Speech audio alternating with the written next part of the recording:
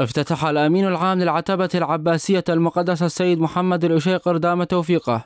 ردة إنعاش المصابين بفيروس كورونا التي تم إنشاؤها بفترة قصيرة لتكون جزءا من مدينة الإمام الحسين عليه السلام الطبية. حقيقة هذا العمل وهذا الإنجاز الكبير هو عبارة عن تحدي في زمن الوباء.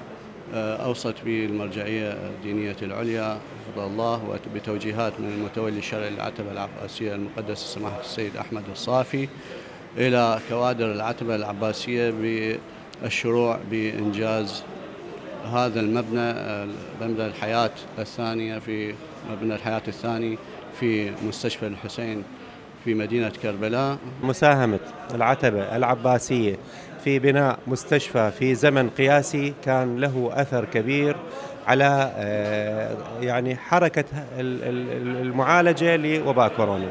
فشكرا للعتبات المقدسة وشكرا للمرجعية على دعمها المستمر في نكبات الشعب العراقي وفي أزمات الشعب العراقي. ستون ردها تم تنفيذها من قبل الملاكات الهندسية والفنية في قسم الصيانة الهندسية.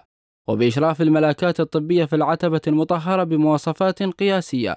تم تجهيزها بالمستلزمات المطلوبة لتكون في الخدمة الصحية في ظل الأوضاع الراهنة. حقيقة آه، هذه الشراكة مع دائرة صحة كربلاء بالنسبة لنا آه، شراكة أساسية آه، ومتكاملة للوصول إلى خدمة رائعة جدا للمواطن. بكوادر قسم الصيانة الهندسية التابعة للعتبة العباسية المقدسة استنفرت كل الطاقات الموجودة ولمدة 15 يوم ليل مع نهار لإنجاز 60 ردهة منفردة للمصابين.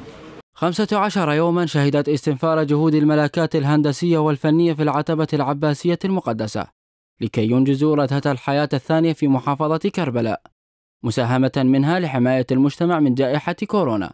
تضاف لسلسلة مبادراتها الإنسانية التي عودتنا عليها والتي تخدم الصالح العام.